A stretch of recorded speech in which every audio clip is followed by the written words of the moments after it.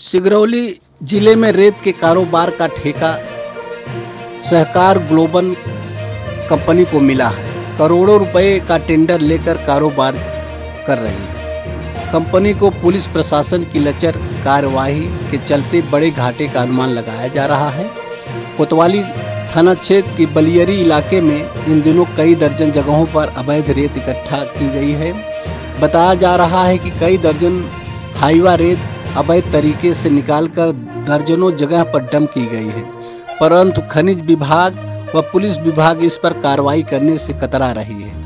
कहने को तो कोतवाली पुलिस द्वारा दावा किया जाता है कि कोतवाली क्षेत्र में अवैध रेत का उत्खनन व परिवहन पूरी तरह से बंद है। इसके बावजूद पुलिस की मिली भगत से अवैध रेत का कारोबार बड़े पैमाने पर चल रहा है। खनिज विभाग कार्रवाई करने पर मन बनाता है, परंतु पुलिस बल की कमी की वजह से खनिज विभाग कार्रवाई नहीं कर पाता खनिज विभाग को कार्रवाई करने के लिए पुलिस बल की दरकार रहती है। रेत कारोबारियों के साथ पुलिस की मिली भगत का नतीजा यह होता है कि जब खनिज विभाग कार्रवाई करने जाता है तो उससे पहले ही रेत कारोबारियों को पुलिस द्वारा जानकारी दे दी जाती है। कार्रवाई नहीं हो पाती। यही नहीं, बलियरी इलाके में दर्जनों जगहों पर अवैध रेत डंप की गई है।